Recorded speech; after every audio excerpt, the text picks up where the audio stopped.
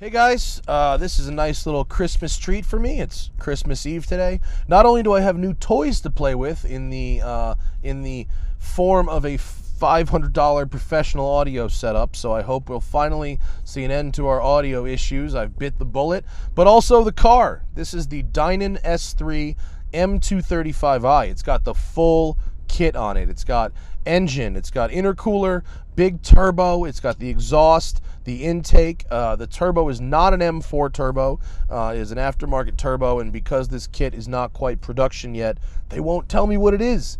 Uh, it's also got springs, sway bars, the bump stop kit.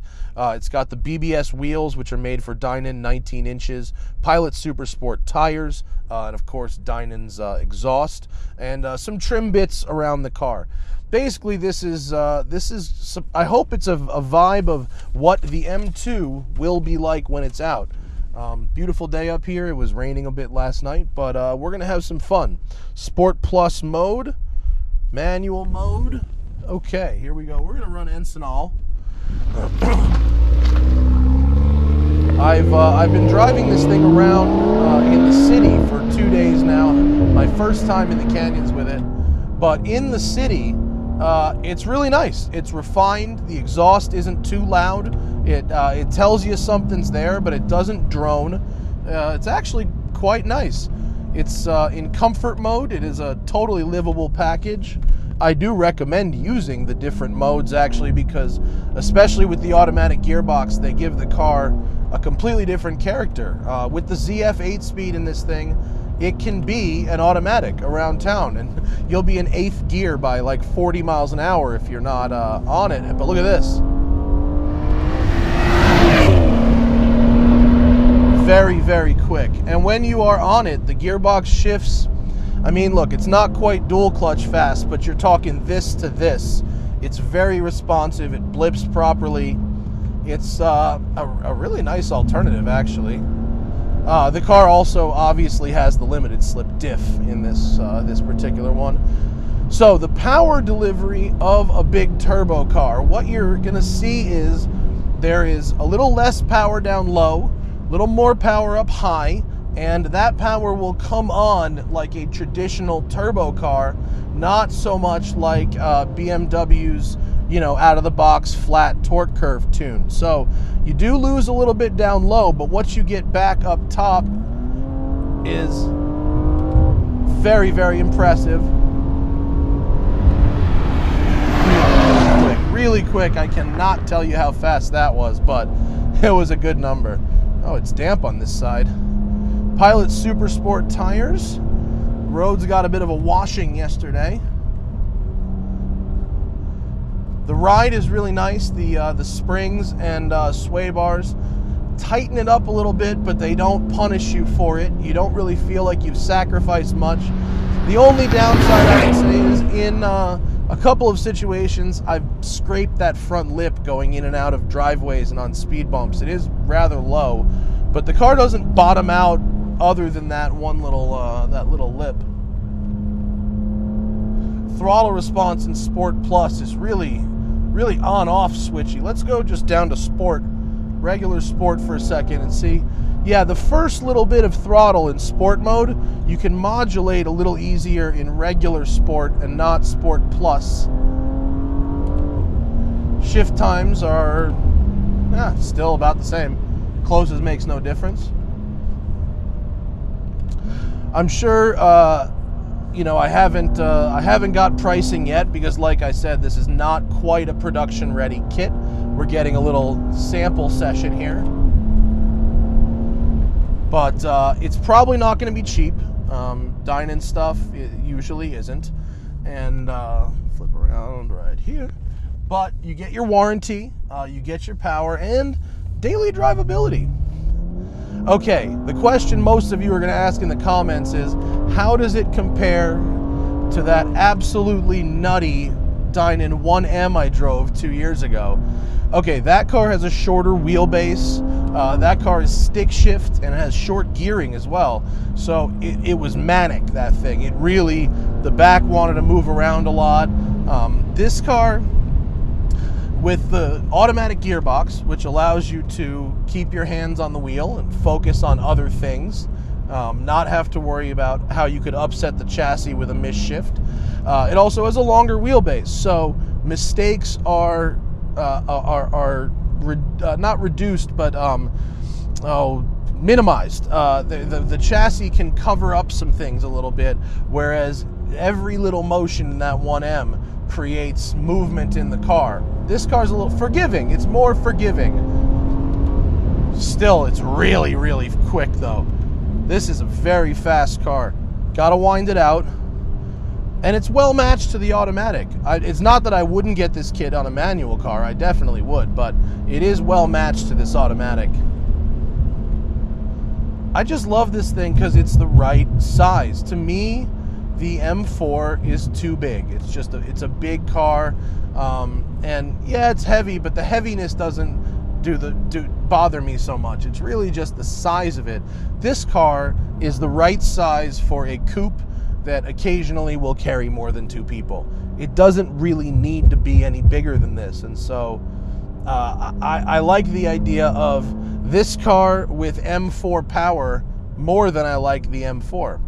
Uh, this uh, 320i here, I don't think will let me buy. Maybe they will. I don't know. Are they going to be nice? Should we have a prayer? Everyone bow your heads.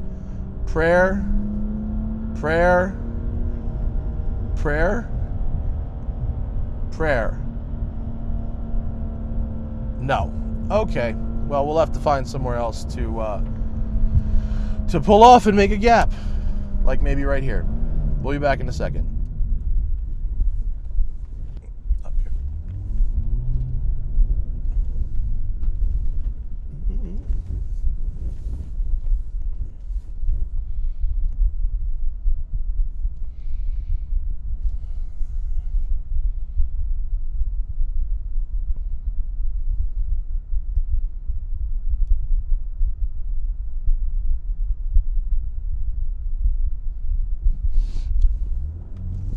Okay, here we go. Oh, definitely getting wheel spin out the back in uh, third gear. it makes a lot of power, and uh, although it does have good tires, uh, because the body is not widened from the standard 235i, uh, you know, there's only such a big tire you can fit under there without widening the car like they're doing for the M2. So, uh, 265 is what you get in the back uh, adequate uh, unless you're trying to do uh, full throttle pulls on a somewhat of a damp road. And then you can blow the tires off several gears. Oh, good. You're going right. I'm going left. With these eight speeds, though, even with the paddles, sometimes you gotta you realize you gotta do six downshifts. Up oh, there's wheel spin. So quick, effortlessly quick, uh, confidently quick. It doesn't really lose uh, composure so much. Oh my god! This car does not have a big brake kit on it. As the standard, uh, the, the brakes that come with the 235i, I would maybe recommend something bigger. Dinan is not one usually to deliver cars that aren't adequately braked, and, and this these will work, but I feel like this car is capable of speeds where the brakes might not be able to keep up. Beautifully sunny on this part of the hill.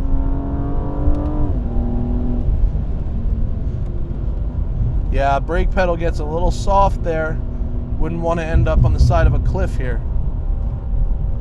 Right there, bumps mid-corner, look. Car's not upset at all.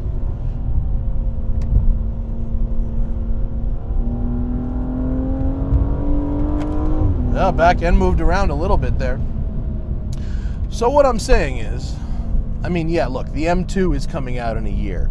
So if you are the kind of person that, you know, would rather something officially straight out of the factory, maybe that's what you want. On the other hand, maybe the M2 isn't going to be different enough for you. Maybe you want something that's like an M2, but now. Maybe you want to tell your insurance company you drive a 235i and not an M2.